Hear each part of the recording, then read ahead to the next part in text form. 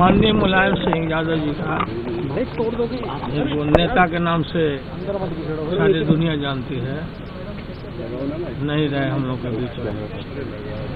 वो देश भर में समाजवादी आंदोलन को काफ़ी आगे बढ़ाया। डॉक्टर राम मनोहर लोहिया, जननायक कर्पूरी ठाकुर जी लोकनायक जयप्रकाश सिन्हा जी के विचारों से प्रोत थे वो। और हमारे तो संबंधी थे हमारी बेटी वहाँ घटना है। हमको ये घटना याद है कि जब हम लोग गए तिलक चढ़ाने तो नेताजी बिहार भर के जितने लोग गए थे, सबके लिए अलग अलग इंतज़ाम करना, अतिथि सत्कार उनके मन में पूरा भरा हुआ था। हर लोग के लिए अलग अलग इंतज़ाम नेताजी ने किया था। सबको पूछना खाए नहीं खाए क्या तकलीफ़ है? ईश्वर से प्रार्थना है मैंने अखिलेश जी से बात किया। डिप्टी चीफ मिनिस्टर जाएँगे हम चूँकि सिंगापुर जा रहे हैं। तो हम लोग भगवान से प्रार्थना करते हैं कि उनकी आत्मा को शांति दे अखिलेश जी और उनके पूरे परिवार को ताकत दें सहने के लिए वो बड़े भारी बड़े आदमी थे बड़े आदमी। आप भी काफ़ी भावुक हो रहे हैं काफ़ी मतलब सुबह से मैं माननीय मुलायम सिंह यादव जी का एक नेता के नाम से सारी दुनिया जानती है। नहीं रहे हम लोग के बीच में।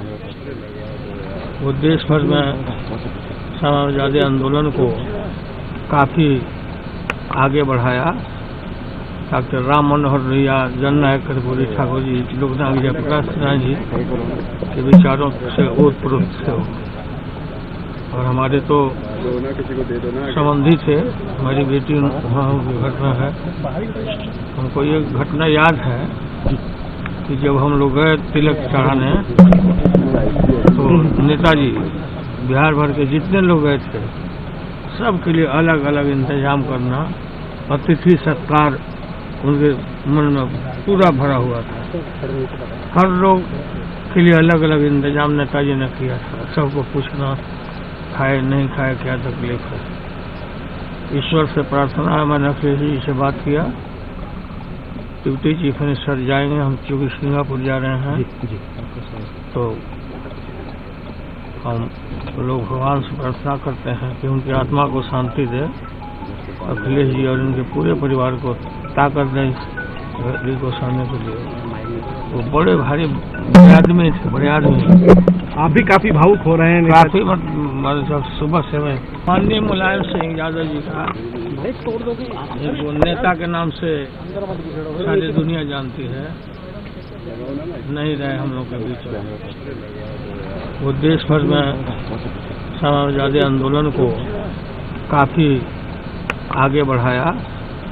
डॉक्टर राम मनोहर लोहिया जननायक कर्पूरी ठाकुर जी लोकनायक जयप्रकाश सिन्हा जी, के विचारों से ओत प्रोत थे और हमारे तो संबंधी थे हमारी बेटी वहाँ की घटना है।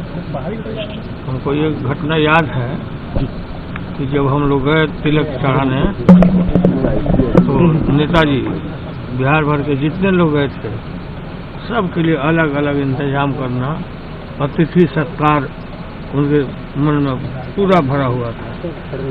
हर लोग के लिए अलग अलग इंतज़ाम नेताजी ने किया था। सबको पूछना खाए नहीं खाए क्या तकलीफ़ है? ईश्वर से प्रार्थना है मैंने अखिलेश जी से बात किया। डिप्टी चीफ मिनिस्टर जाएँगे हम चूँकि सिंगापुर जा रहे हैं। तो